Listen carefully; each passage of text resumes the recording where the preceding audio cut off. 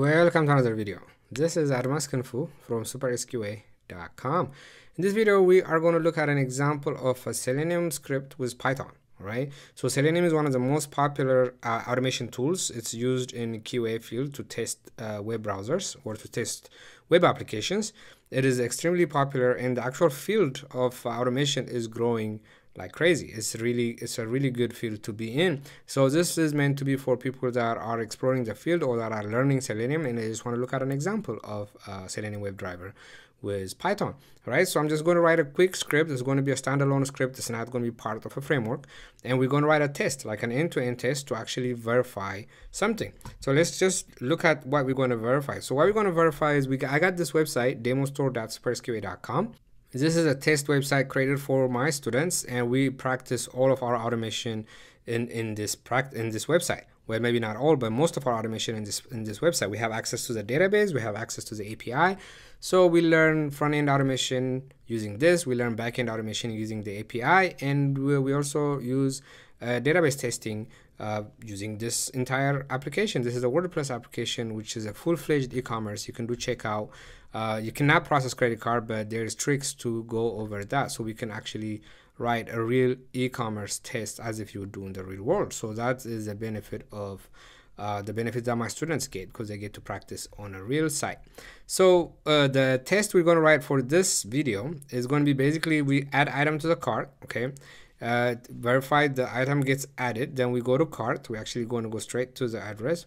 And the test is to make sure removing an item from the cart works. So we're going to come here and we click on X and then we're going to make sure this message your cart is currently empty message gets displayed that is going to be the automation so we are going to write code that does everything that I just did.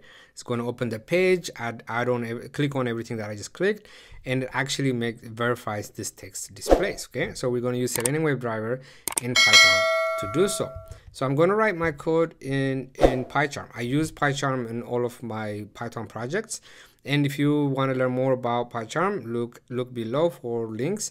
And if you like what you see here, and if you really want to learn uh, Python and Selenium, both of them from scratch the best way then consider taking my course okay? I have a full course on the site supersqa.com as well as on udemy. It is the best selling course on udemy and it is highly rated on udemy. So it's a great course. It teaches you from scratch. It teaches you everything about python and everything you need to know about selenium okay? At a basic level.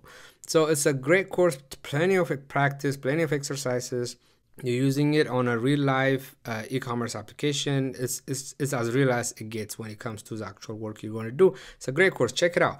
Um, uh, please use the coupon that's attached at the bottom because you will save a lot of money and I'll save a lot of money. Udemy takes about 75% of the sale, but if you use the coupon, I get to keep like 90 something percent of the sale. Also, if you want to learn the full QA, then I suggest doing it on the website because you actually can buy a bundle and you can save a lot of money. Instead of buying individual courses, you can just buy a full bundle that has a backend, front end, BDD, robot framework, all of that okay? So i do highly recommend you to check that out. It's a great course. All of the material is you're going to learn a lot about qa and i'm here always to answer questions okay? So back to this video though. So in this video i already have selenium installed obviously python installed. So you can use python 2 python 3 if you do want to follow it. But if you just want to just check it out you can just watch me. But if you want to do it i do recommend python 3 um, Python 2 will be fine. Some things you would have to change. If you don't know any, anything about Python, if you begin, if you're new to Python as well as Selenium, then I highly recommend doing a, uh, the full Python course. Okay. All right. So let's get started. I'm just going to create a Python file. That's all I need to do here because not a part of a framework. And I am going to call the file demo store, which is a site, verify, remove from cart. Simple. So the first thing we usually import is from Selenium import WebDriver. The thing is here we, we're creating a file, a standalone file, just a script by itself. When you're actually working on an automation, if you actually have a product you're testing, you're not going to do this imports everywhere, okay? You have a framework. I'm going to talk about frameworks in a different video, but you have a framework which which has which is written once and is taking care of all this stuff. But so you just write test test test.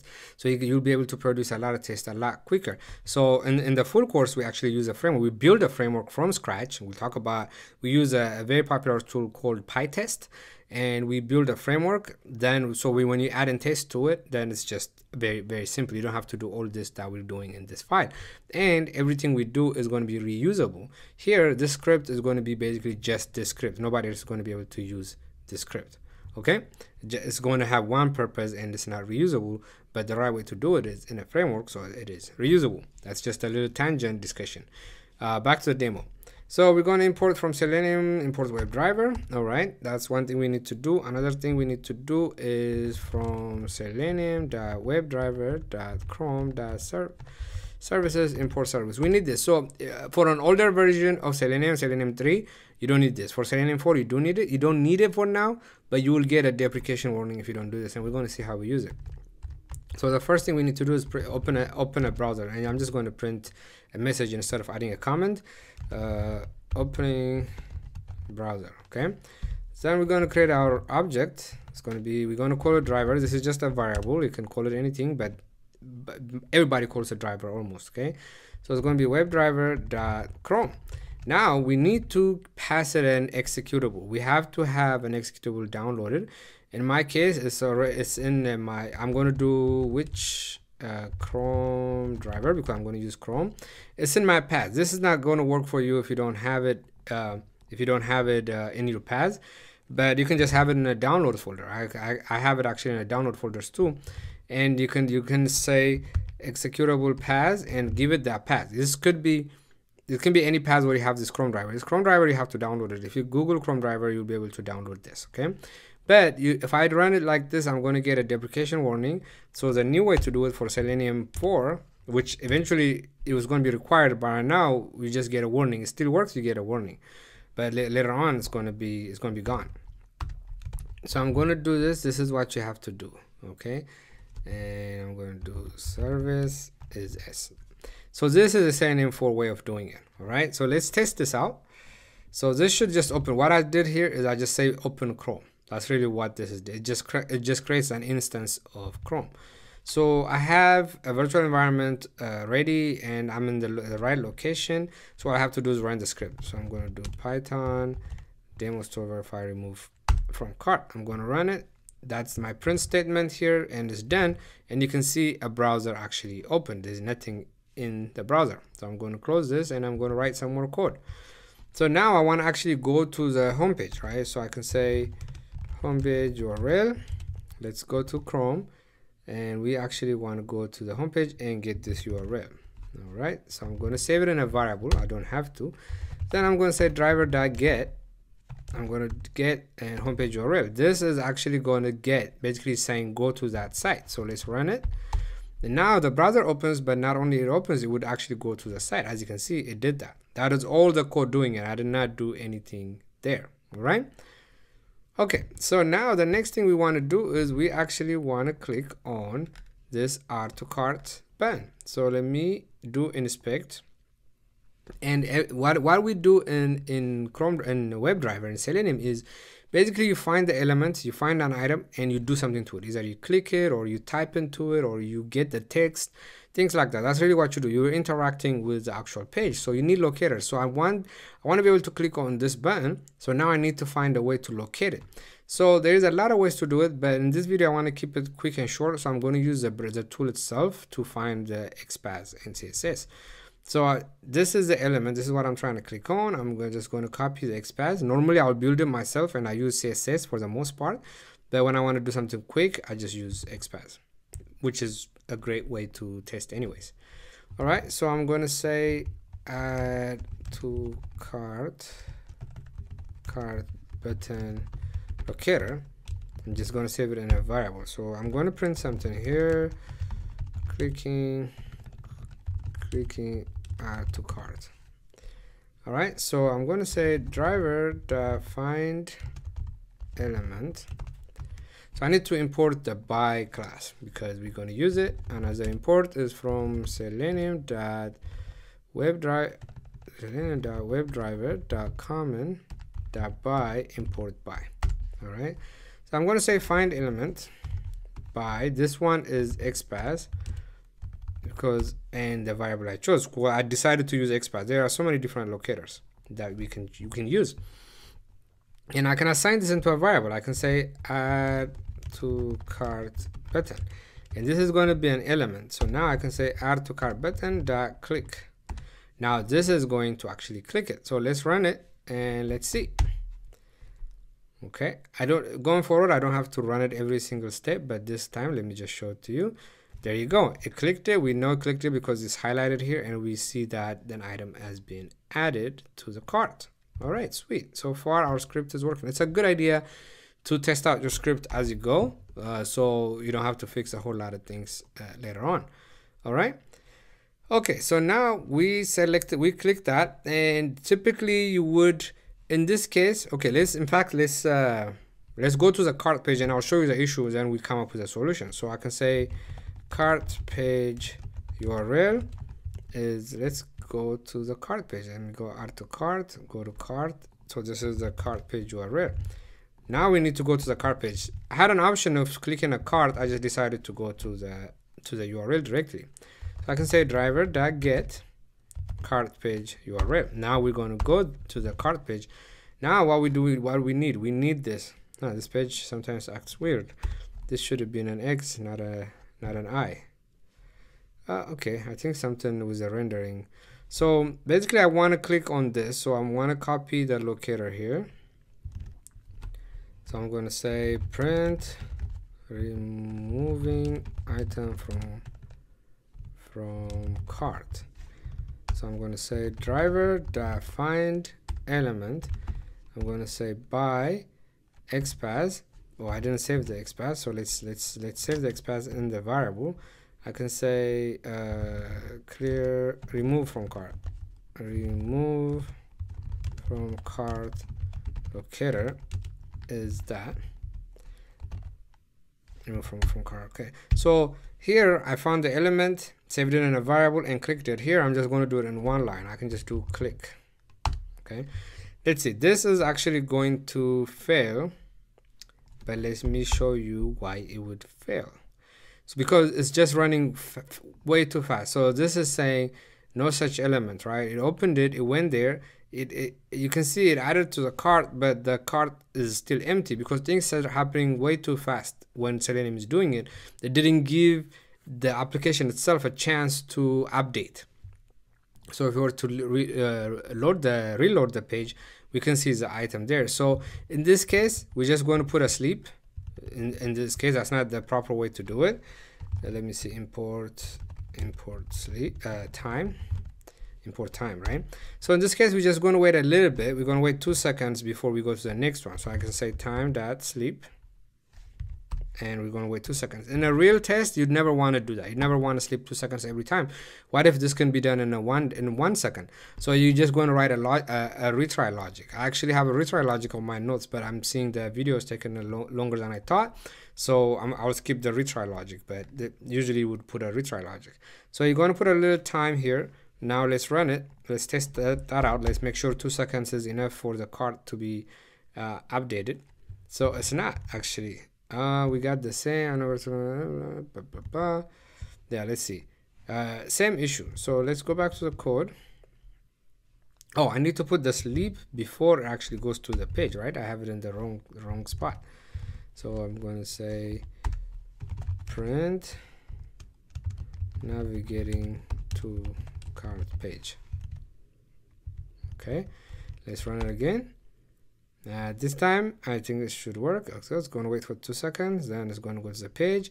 Voila. Now it found it and it clicked it. Now we can see the message. All right.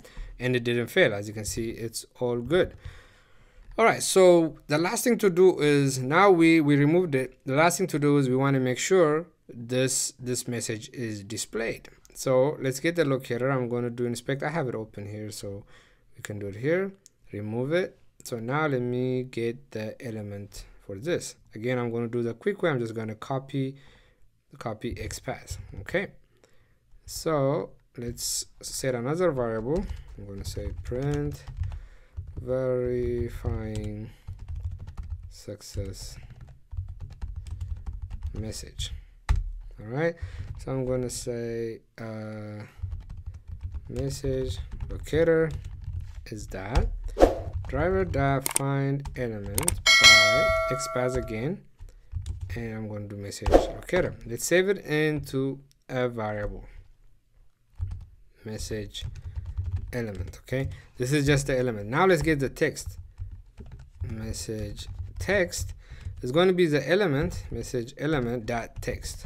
This will give us the text. Let's just print it. In fact print message text. Now let's run it and see if our script is good so far. All right should be fairly fairly simple. All right it did fail saying unable to locate element because it is going too quick. Now one thing we did not do is we need to let selenium know how long to wait while it's looking for something okay? There is there is two ways to do it. There is an implicit way and explicit way.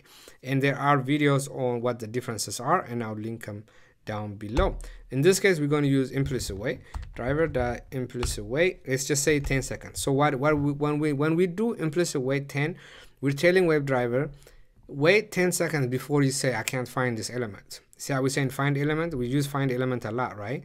And uh, WebDriver is going to try to look for that element right away. And if you can't find it, it will, it will just raise an exception, it would fail.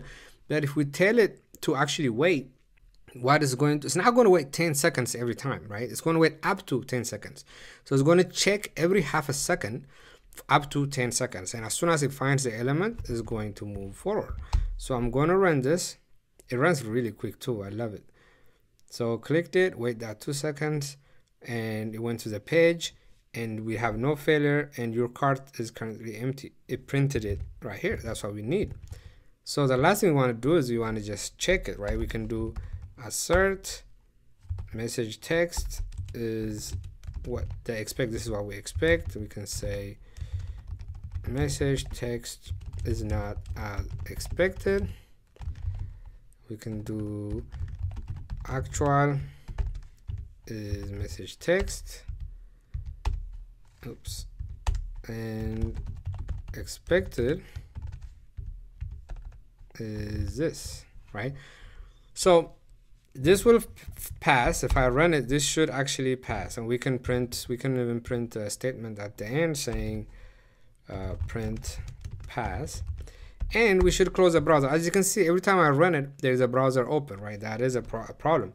So if I do driver driver dot quit it will actually close the browser. Now let me close this. So so you believe me you don't have to keep track of how many tabs how many windows I have open all right let's go back to the test oh it did fail for some reason let's run it again and see what what happens it's pretty fast. The slowest thing in this whole test is that two second sleep we added. All right. So no failures passed. Okay. And the browser closed. All right. So that is a very quick, clean uh, Selenium script. That's what a Selenium script looks like. This is by itself. Uh, usually the code gets bigger the when you have a framework you know all of this is reusable right so for example adding to cart you don't want to write code to add to cart on every file because there's going to be a lot of tests that actually need item to cart uh, add to cart so you're going to have some common code, some, some common code that all your other tests would use, okay? We we will look at examples of uh, using the framework in a different, uh, different video, but I highly encourage you uh, to look at the full course if you really enjoy uh, what you see here.